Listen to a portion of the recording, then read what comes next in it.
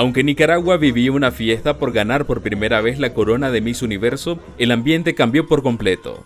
Tras la decisión del gobierno de negar el ingreso al país de la directora de Miss Nicaragua, según denuncia una prominente organización defensora de derechos humanos. La dictadura de Daniel Ortega y Rosario Murillo impidió la entrada de Karen Celeberti, directora de Miss Nicaragua desde hace muchos años, así como también de su hija.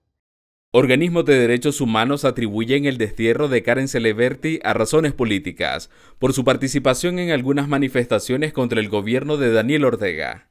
Este acto arbitrario, violatorio de los derechos humanos, evidencia patrones represivos continuos en contra de todas las personas nicaragüenses que en algún momento han alzado su voz denunciando la grave violación de los derechos humanos perpetrados en Nicaragua Abogados explican que el impedimento del gobierno viola los derechos civiles y políticos de la directora de Miss Nicaragua.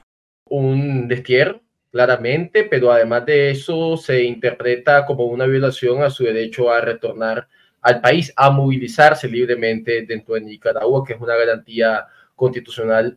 El colectivo de derechos humanos ha documentado más de 100 casos de nicaragüenses que han sido impedidos de retornar a su país.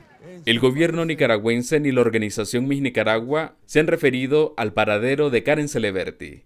Donaldo Hernández, Voz de América.